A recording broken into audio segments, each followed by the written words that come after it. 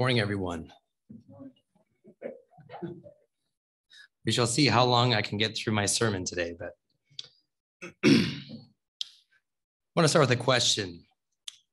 Do you enjoy praying for others? Do you enjoy it?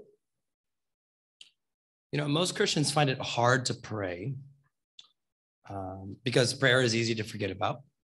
We have other things on our mind. But another reason why we have a hard time praying is I think that we find prayer a little bit boring. And there are just many things that we'd rather be doing with our time than something kind of as boring as prayer. Prayer feels often like work to us. And sometimes it feels like this work is not making any difference. Some of us feel like prayer is kind of like getting your room organized. You wholeheartedly agree that it's a good thing to do, that you should do it, but you never seem to get around to doing it. But simply, the reason we don't pray that much is because we don't want that much to pray. We want to spend our time doing something else. But God has designed prayer to be so much more than what we imagine.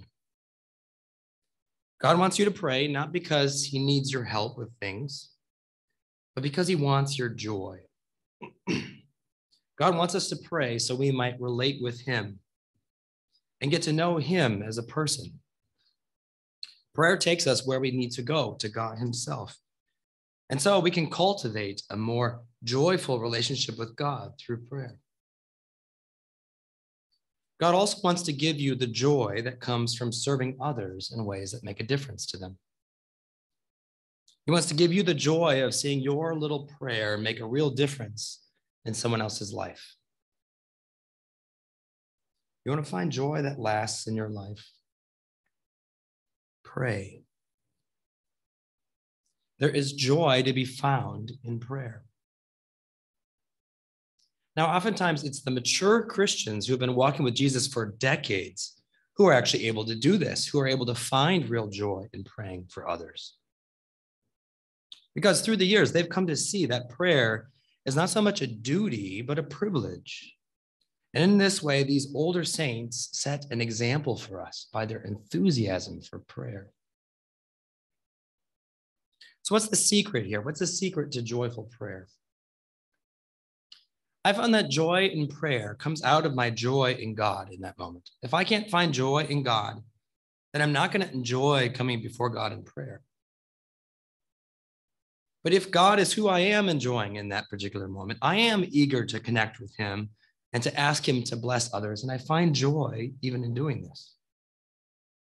As I look back in my life at some of those times of really sweet prayer that I've personally had, what made them sweet in that moment was because as I was praying, I was savoring God and worshiping God as I prayed.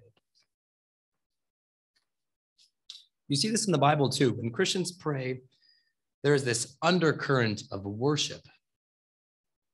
Their prayers in the Bible are centered on God Himself, not on themselves, not on their circumstances. And so the very act of praying ends up stoking their joy in God. We can see this here in Paul's prayer in Ephesians chapter 1. Here, Paul describes how he prays for his fellow Christians. And as he does this, he models for us how we should pray for our brothers and sisters in Christ. You can hear the passion in Paul's prayer. Paul is worshiping as he prays. He's not falling asleep as he prays. He is becoming captivated as Paul starts to reflect on God in his prayer, his joy starts to build until it overflows in worship. So today we're going to try to learn from Paul's example. We're going to consider how we can pray for others, and particularly for those who are already Christians, our brothers and sisters in Christ. And we're going to see how prayer not only blesses others, but it blesses us as we pray. So let's ask God to use this passage to teach us how to pray for others. Heavenly Father, use this word for our good, to bolster our faith, to lead us in your path, to show us what is good and right, and help us to rejoice in you through your word this morning. We pray in Jesus' name. Amen. If you're taking notes, I've got three main points for you. When Paul prays for others, he does three things. First, he thanks God for them. Second, he intercedes for them. And third, he follows up with them. So let's jump right in. First, in verses 15 and 16, Paul thanks God for these brothers and sisters in Christ. He says, For this reason, because I have heard of your faith in the Lord Jesus and your love toward all the saints, I do not cease to give thanks for you, remembering you in my prayers. Paul says, in his regular times of prayer, Paul would regularly thank God for these believers in Ephesus and in the surrounding areas. Whenever Paul prayed, he would thank God for them. That's what he means here by not ceasing to give thanks for them. It's because gratitude is a really important part of the Christian life. Gratitude is the appropriate response to God's kind and gracious provision in our lives.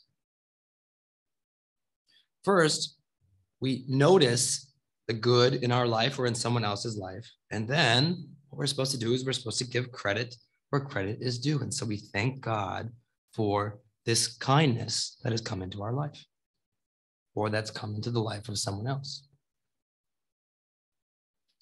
There is a small but important difference, though, between saying, I'm blessed and saying, God has blessed me. Technically, those two sentences can mean the same thing, but the first leaves the source of the blessing undefined.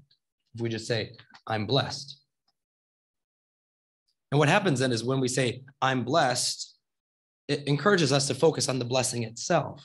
If you say, though, God has blessed me, you are defining and giving credit to the giver, and you're also reminding yourself that that gift, that, that gift and every good and perfect gift comes from Him. Small difference, but it's an important difference. it's actually one of the keys to unlocking joy in God. It is good in general to be thankful for what you have. You don't want to be ungrateful. Being thankful will make you more content in life. But if you thank God for those very blessings that you're thankful for, if at Thanksgiving it feels like you are so full of, of gratitude toward God Himself, if you see these gifts as gifts that you've done nothing to deserve, you'll not only be more content, but you're going to start to find joy in God and a greater desire to go to Him in prayer as a result. So, as we go to God in prayer and we ask Him to provide, let us remember how God has already provided so much for us in Christ. When God gives to us, we ought to be grateful. Our prayers should have a thankful spirit behind them because God has blessed us so abundantly already as His people. I mean, if someone sends you a gift in the mail, what are you supposed to do? The first time you connect with that person, the first words out of your mouth should be, Thank you for the gift. Thanksgiving is what God deserves. It should be our first move as we come to Him in prayer because we are so blessed by Him. And as we express our gratitude toward God in prayer, it not only gives God glory as we give Him credit, but it helps our mind. It helps us direct our mind to focus on the goodness of our God, on the wonders of His provision, how He has come through for us again just as he has so many times before. Thanksgiving not only helps our prayers to be God centered, but it starts to awaken our joy in God as we remember his kindness to us. Paul takes his thanksgiving a step further as he prays. He's not talking about thanking God for how God has worked in his life, though I'm sure he did that. Paul's thanking God for how God was working in the lives of other people.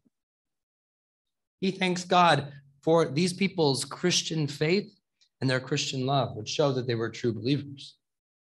When he thinks about their conversion, he doesn't thank them for joining the cause. He's not saying, hey, thanks for signing up. We could use the help. The church is not a pledge drive. Paul does not go around complimenting people for making such a good decision to follow Jesus or complimenting them that they work so hard to, to love others. He is so focused on God. He sees these good things in their life as gifts that have come from God. So he gives thanks to God for his work in their life. His prayers are thoroughly centered on the giver. This isn't the only reason why he gives thanks. He says in verse 15, for this reason, the reason he's just talked about, he gives thanks for them. now, for this reason means look back at the previous verses. That's what we've been seeing in our previous times in Ephesians chapter 1, specifically verses 3 to 14. There, Paul, as we saw, shows us the abundant spiritual blessings that God gives to us. And he reminds us that God has given us these blessings, verse 6, to the praise of his glorious grace. He's given them to us for a purpose, to the praise of his glorious grace. God showers us with amazing grace so we might shower him with praise. So, whenever Paul thinks of these believers, he thinks of the glorious grace of God in their life, and he can't help but give God thanks. Let's make this personal. When was the last time you thanked God for his kindness to someone else? Your brothers and sisters have been richly blessed by God. They've been saved by Jesus. They're being transformed by the Holy Spirit in beautiful ways, just as you have. Are your eyes open to that? Are you ready to give God the thanks he deserves? Not just for what he does for you, but what he does for others. When you see the fingerprints of God's grace in someone's life, praise God for the good work that he is doing in them. By doing this, you'll not only give glory to God as you should, but it's going to help your own joy in God to grow. As you reflect on God's kindness to others, you'll be remembering how good He is to you and to all His people. And your heart will start to feast on the riches of His kindness. Your heart will be drawn toward Him. And your heart will be drawn toward that person too as you pray for them.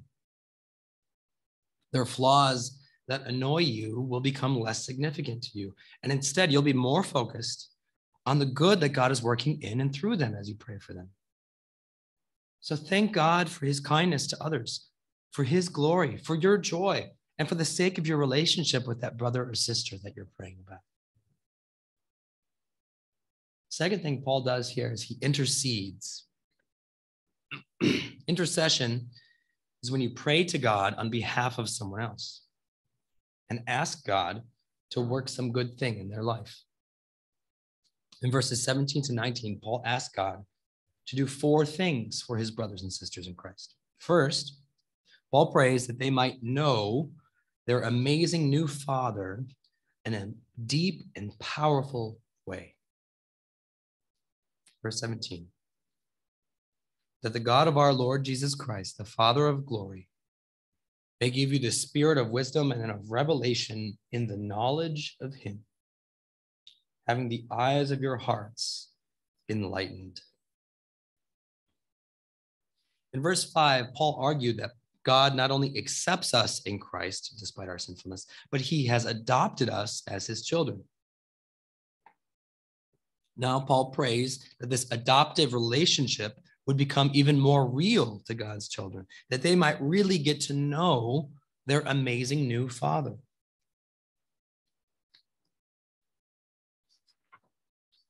Our Father is gloriously powerful. He is more powerful than any being that we've ever seen or even that we can imagine. And he is gloriously good. He is far better than any being we've ever, any person we've ever interacted with. Even Jesus himself served and loved the Father. The Father called Jesus his beloved Son. And now in Christ, you, Christian, are his beloved son or daughter. You get to approach him in prayer, the God of the universe, and he'll listen to you. You can't approach even some of your local officials, let alone the governor or the president, but you can approach the living God himself who created everything. You can approach him in prayer because you are his child and he welcomes you into his presence. We get an opportunity to behold the beauty of our creator in the context of a relationship with him, a relationship where he is providing for us all the time. God has adopted us so we might know him. That's one of the reasons why he adopts us. He wants to have a real father son, father daughter relationship with us, a real one. And that's why Paul prays that God's children will get to know him. This is a priority to our Father. He wants a deeper relationship with us so we might find joy in that relationship. He wants us to be happy. And He knows that He is the only one that can really make us happy. the way we come to know our Father in a deeper and more powerful way is by coming to see and understand how our Father has revealed himself to us in his word. That's why Paul specifically prays that the Holy Spirit would impart wisdom and revelation to them so they might know him. On our own, we are powerless to know God. We can only know God if he reveals himself to us. That's why Paul is asking God to act. He's praying for this. He knows God has already revealed himself to us in the Bible, and now God needs to work by his spirit to shed light on what he has revealed. So we can see what God has written in a new light and grow in our knowledge of God as we learn to savor more and more facets of our Father's glory. And this revelation then gives us wisdom to know how to live in our Father's world. It's the first thing he prays for, that they might know God as their Father in a deeper and more powerful way. Second, Paul intercedes that God would cause these believers to know and to treasure his amazing provision for them in Christ, and especially the future blessings that he still has in store for them. Verse 18 that you may know what is the hope to which he has called you. That's another prayer he's giving. That you may know what is the hope to which he has called you.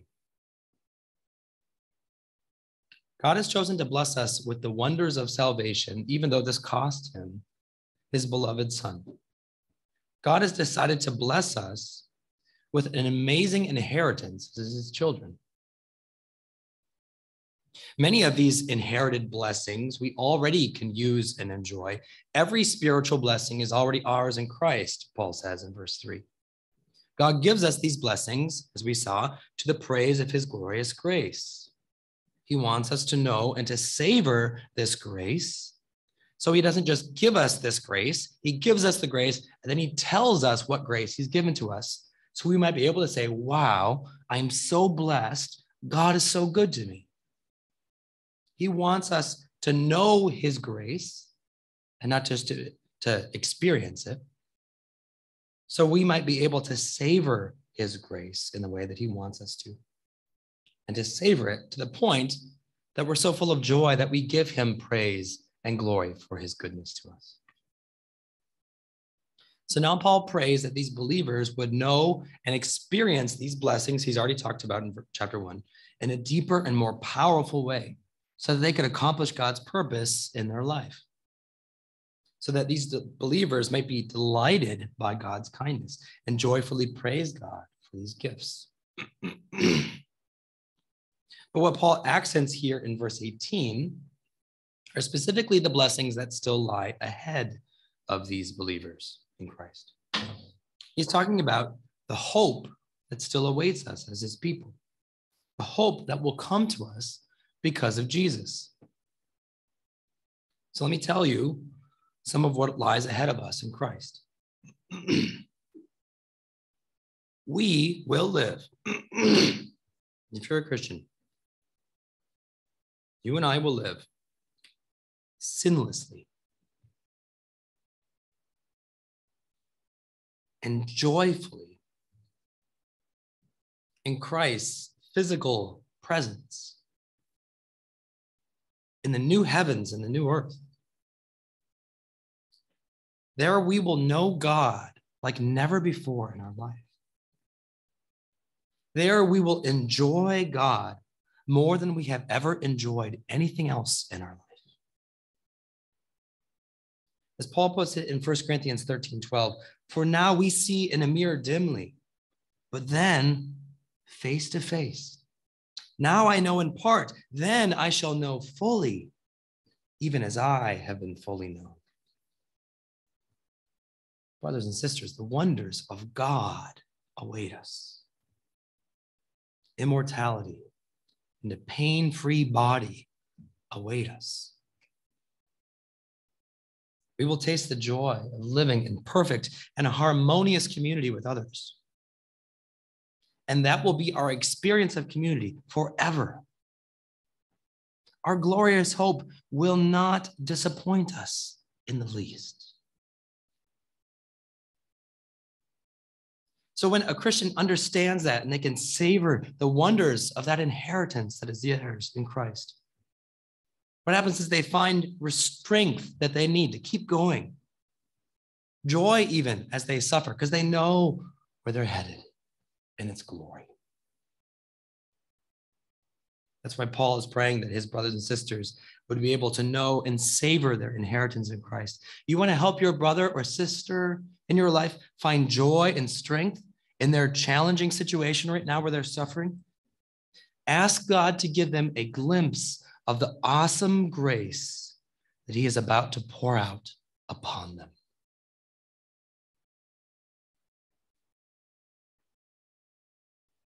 Intercession number three. Paul prays that God might help them grasp their new identity in Christ. Look again at verse 18. Having the eyes of your hearts enlightened, that you may know what is the hope to which he has called you, what are the riches of his glorious inheritance in the saints. Now, this sounds just like the last request at first glance, but it's actually quite different. Paul is asking God to help them understand, quote, the riches of his glorious inheritance in the saints. Now, notice Paul does not say the riches of our glorious inheritance as saints. He just prayed for that. He just prayed that these believers would be able to taste the wonders of their inheritance in Christ. But now Paul's asking for something different. Paul is asking God to help them see the riches of his glorious inheritance in the saints. That is, that they be able to see God's glorious inheritance. What is God's glorious inheritance? The saints. In Christ, we have become God's glorious inheritance. You may remember Paul made this point back in verse 14, but now Paul is praying that his brothers and sisters would be able to understand and appropriate what this means, that they would be able to see who they now are in God's eyes, their new identity in Christ. And that's a great way to pray for your brother and sister in Christ. When you become a Christian, there are some things that tend to radically change in your life, like how you think about and respond to Jesus, or how you respond to sins and idols in your life that may have been ruling you for years. Now you repent of those sins instead of excusing them or just embracing them. But at the same time, there are other areas of your life when you become a Christian that may not change at all or seem to change you'll find that you want to follow Jesus now, but you still veer off Christ's path time and time again. We all understand this about ourselves. So, you know, we we we have this new thing about us, this new desire to follow Jesus, and yet we also say, "Hey, I'm a Christian. I I don't want to sin, but I still sin all the time. I'm not a very good Christian. God must be so disappointed in me. But it's here that we must understand just how radical our salvation really is. We must go back to the gospel and view ourselves in the light of the gospel. The reason why God accepts us as Christians, let me be very clear. The reason why God accepts you as a Christian, if you're a Christian, is not because you serve him really well. It is not because you do such a good job avoiding sin. God accepts you because of Jesus. Not because of the quality of your works before you were a Christian or because of the quality of your works after you became a Christian. Through faith in Jesus, Jesus' own perfect righteousness has been transferred to us, just as our awful sinfulness has been transferred to him so that he could pay our debt of sin on the cross. So now, because you and I are in Christ, we are actually saints. We are not simply forgiven, we are holy because we abound with the perfect righteousness of Jesus, which has been transferred to our spiritual bank account. So when the Father looks on us as his children, what he sees is someone glorious. He sees a holy saint who is as righteous as Jesus himself. When God looks at you in Christ, he sees someone who is beautiful, someone amazing, some, someone who is his treasured possession, his glorious inheritance, and he finds joy in us. He doesn't look away from us in disgust. He embraces us with joy.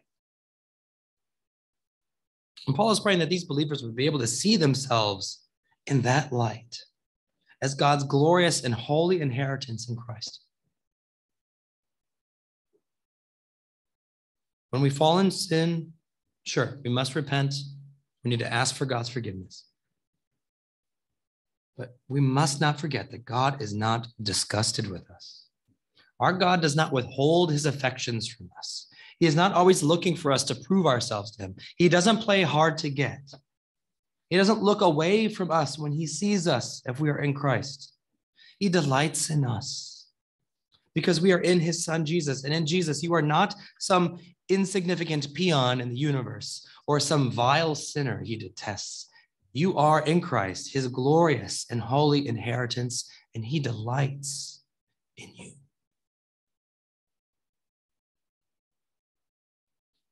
This is one facet of our new identity in Christ that we need to embrace as believers, especially those of us who struggle to accept ourselves. We are now God's glorious inheritance. We don't often talk about this, but it's it's here in the Bible, and it's it's a life-changing thing if you start to really embrace it and think about it. It helps you to see how much you actually matter to God and how radically you've been transformed in God's eyes. Every believer needs to see themselves in the light of the gospel as part of God's glorious inheritance in Christ. So as you pray for your fellow believer, don't just pray for their grandma's cat. Pray that God might show them who they are and whose they are in Christ. Pray that God would impress their new identity in Christ upon them in such a powerful way that they really start to believe that this is now who they are and that they'd start to live out this new identity in their life. Not only will this prayer serve their joy, but it'll stoke your joy too. The more your prayers focus on the amazing ways God has redefined your brothers and sisters in Christ, the more you will rejoice in the glorious new identity God has given to you. That's another facet of God's amazing grace in our life is worthy of our thanks and is meant to bring us joy. Intercession number four Paul prays that his brothers and sisters in Christ might comprehend that the Almighty Sovereign of the universe is using his infinite power for their good. Verse 19. That you may know what is the immeasurable greatness of his power toward us who believe. Not only is God's power immeasurably great, but he uses this power toward us for our benefit, promoting our good. God is acting in power to bless us. As Paul says in Romans 8 28. And we know that for those who love God, all things work together for good for those who are called according to his purpose. Why do all things work together for the good of the believer? It is not some cosmic, you know, karmic effect. It is because God Almighty is working them sovereignly for our good. In God's sovereign rule of the universe, the eternal king takes care of his children. Now, this is something we also need to understand at a deeper level because it radically changes how we see our circumstances in life. If God is not just a powerful God, but a kind God, a God who is continually using his power to take care of his people like a shepherd, then even in the most dire circumstances, we can trust that God is looking after us. As the late David Powlison used to say, God is up to something in your life and he is up to something good. We all know life can be so hard. Whether you're a Christian or not a Christian, life is hard. But what the Christian has that the non Christian doesn't is hope. Just because we have that hope, that's not enough. What we really need is to be able to take hold of that hope we need to remind ourselves of our hope. We need to remind ourselves what's true that God is watching over us, that God is at work in our life, that God is up to something good in our life, that God has not abandoned us, but He's looking after us, even when we cannot trace that rainbow through the rain.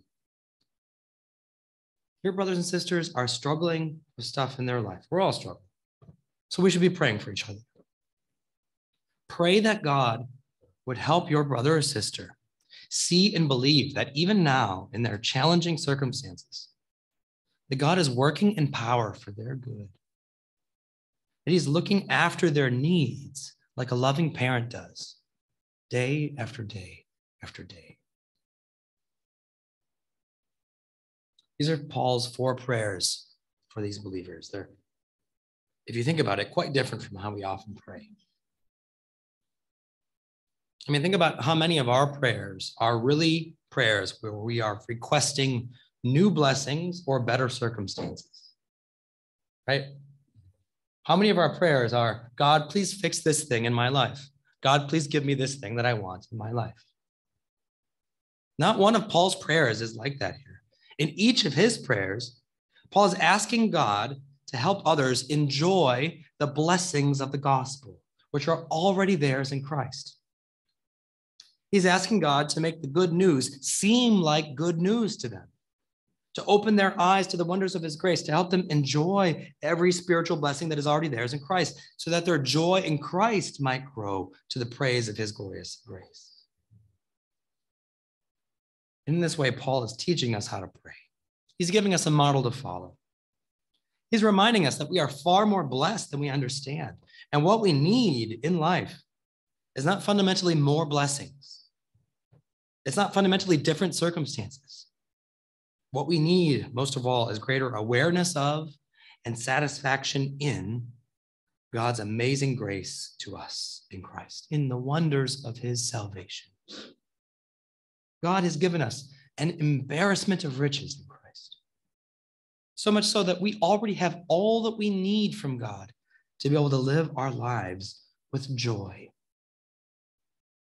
But to find that joy, we must see and savor these blessings so that they start to loom large in our minds and feed the flame of joy in our heart. So when you pray for your brother or sister in Christ, don't just pray that God would change their circumstances. Don't just pray that God would take away their sickness or get them a job or send them a, a future spouse. Those are good prayers, of course. But don't neglect to pray for what you know they need and what you know God says He already wants to give to them.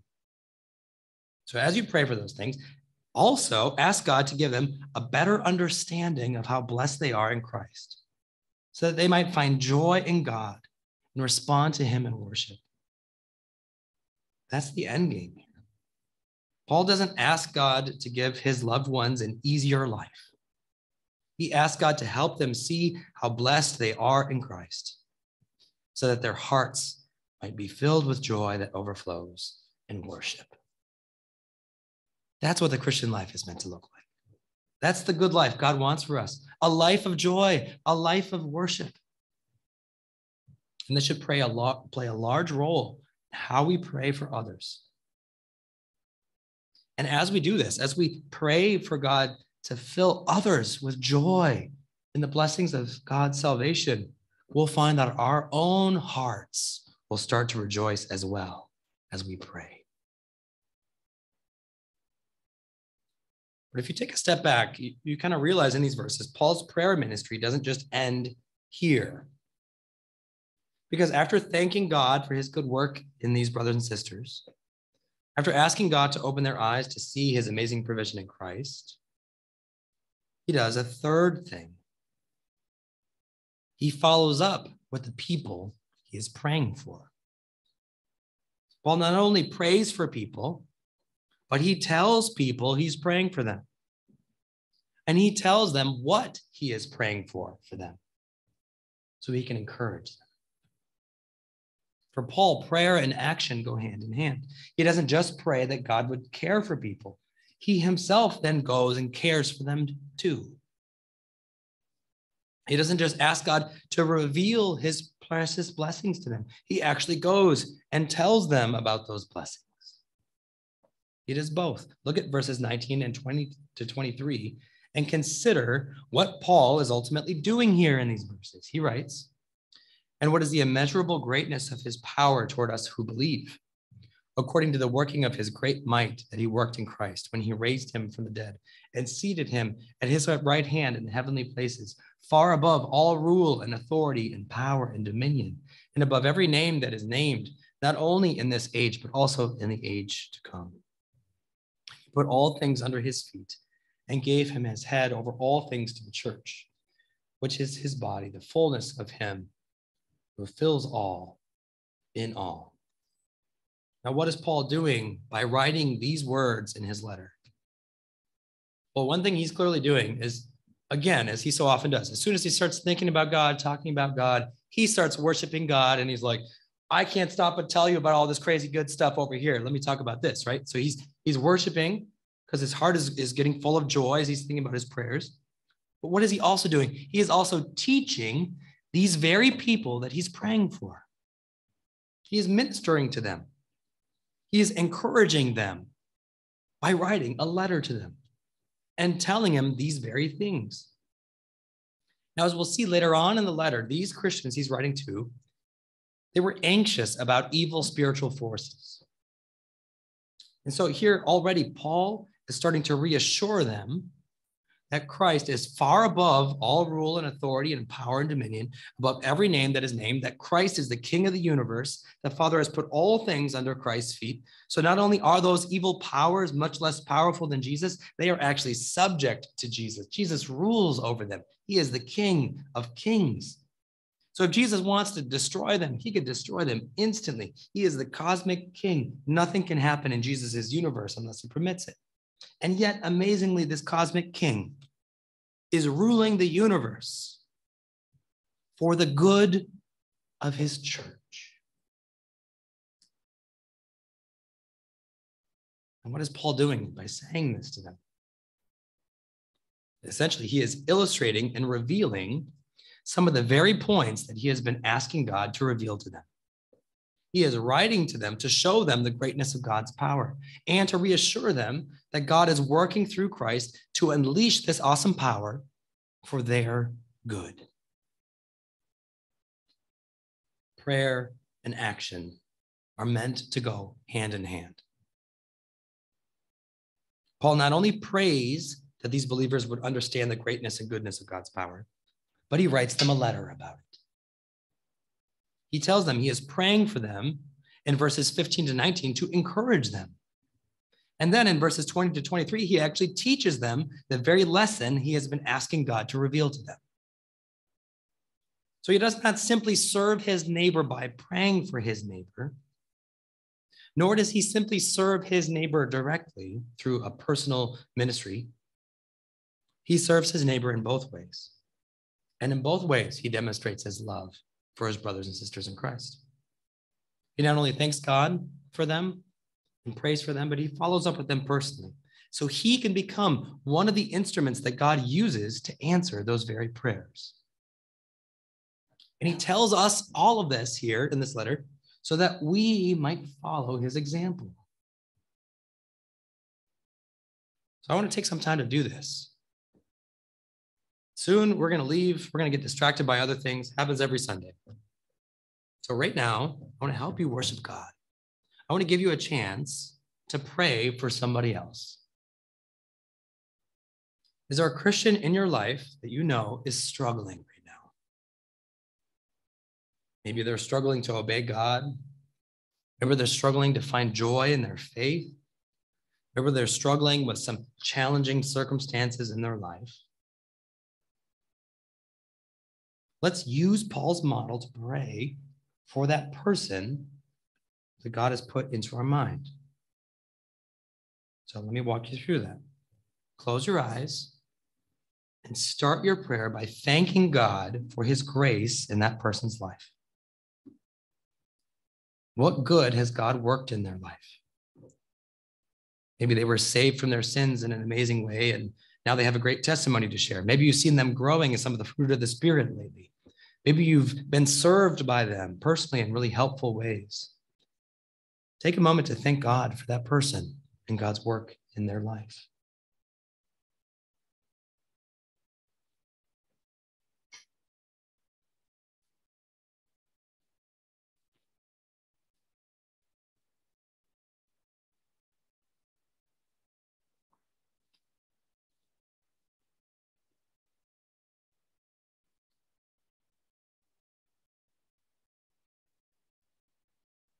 Now think about how blessed they are in Christ. God wants that person to understand and enjoy all of these wonderful blessings that he gives to them in a more powerful way. First and foremost, they now have a new relationship with God. They are God's child, He is their Father. So pray now that they might get to know their Father on a deeper and more personal level so that their joy in Him might grow.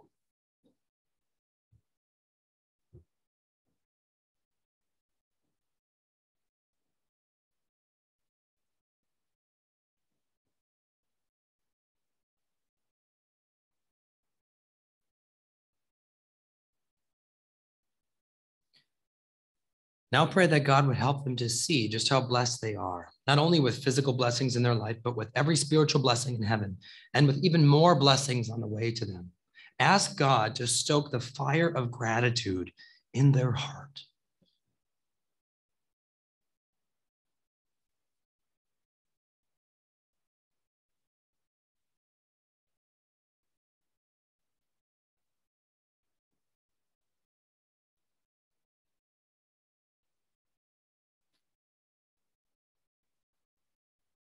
Now pray that God would help them to understand who they now are as his child. What part of their identity in Christ might they need to see and savor, particularly in this challenging time? Ask God to help them understand some facet of who they now are in Christ and to be able to embrace just that grace that he gives to them, that new identity, whatever they need. I'll give you a moment to think about what they might need to embrace about their new identity in Christ and to present that request to God.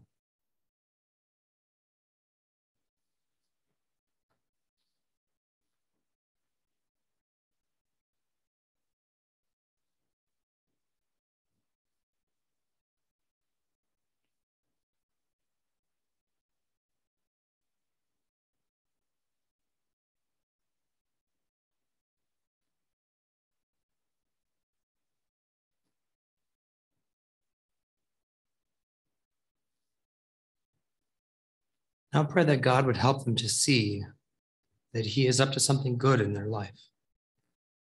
That He'd help them understand that the all powerful God is working even their challenging circumstances for their good. Pray that they'd be able to trust God even more and find peace, knowing that God is in control of their life and that He is working for their good.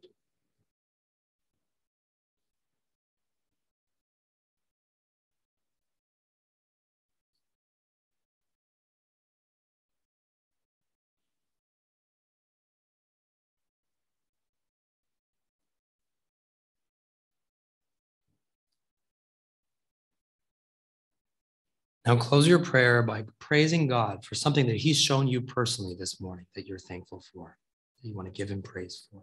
In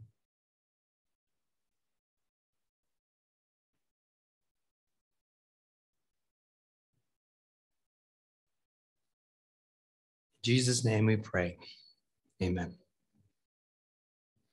Now, let me ask you Are you not encouraged? Are you not now more excited about God and what God is doing? When we pray God centered prayers like Paul does, our prayers, they don't just bring glory to God, they don't just help the people that we're praying for, but our prayers actually help us to rejoice in God as well. As we pray, we, we remind ourselves of his great love, of his amazing grace, and this unleashes joy that spills over into worship. When done well, prayer not only expresses our worship, it fosters our worship by rekindling our joy in Christ. Prayer is also a way that we serve others in love and build them up. So now that you've prayed for that person, I encourage you to reach out to them today or maybe tomorrow and to let them know that you are lifting them up in prayer. Tell them what you're praying for to encourage them and remind them of God's amazing grace in Christ. Shed light on some of God's kindness to them in Christ. Point out the ways that you see God working in them so that they might join you in praising God for his wonderful grace in their life. Seek to become the instrument of grace that God uses in their life to answer your prayers. Serve them in prayer serve them in practice for their joy and your joy and the glory of Christ, our Savior. Let's pray. Father, we thank you for the privilege that we have to come before you as your children in prayer, to know that you led us into your presence that in a world where we can't get anyone to listen to us, you listen to us patiently as the Almighty King, and, and you are eager to, to have us come to you and lay our burdens before you and our requests. We, we praise you, God. You are so kind. Your power has not corrupted you. You are all powerful and endlessly good. We praise you, Father. We pray that you'd help us to come to you more and more often for our sake and for others' sake and for your glory. We pray this in Jesus' name. Amen.